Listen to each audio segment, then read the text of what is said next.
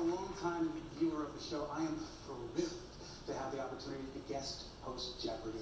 And I'm proud to be here to honor Alex's legacy. And I'm going to do my best to ensure that these talented Jeopardy contestants enjoy their moment here as well. Welcome, Matt, Patrick, and Kathleen. Are you ready? Yeah. Let's play Jeopardy, and here are the categories.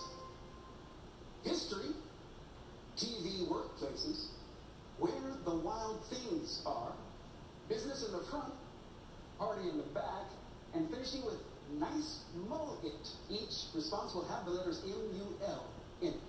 Matt, you're a returning champion. You get to